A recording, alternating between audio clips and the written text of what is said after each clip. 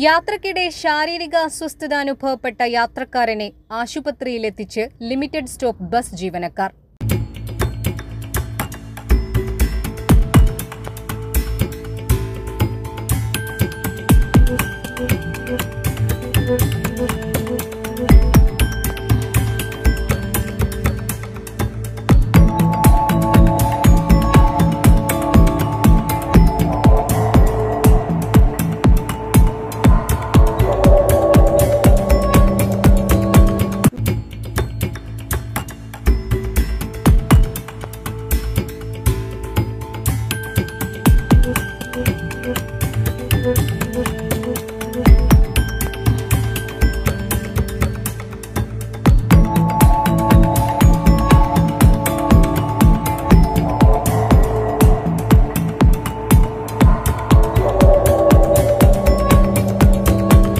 തൃശൂർ കോഴിക്കോട് റൂട്ടിലോടുന്ന ശാസ്ത ബസ്സിലെ ജീവനക്കാരാണ് തക്ക സമയത്ത് യാത്രക്കാരനെ ആശുപത്രിയിലെത്തിച്ച് മാതൃകയായത്.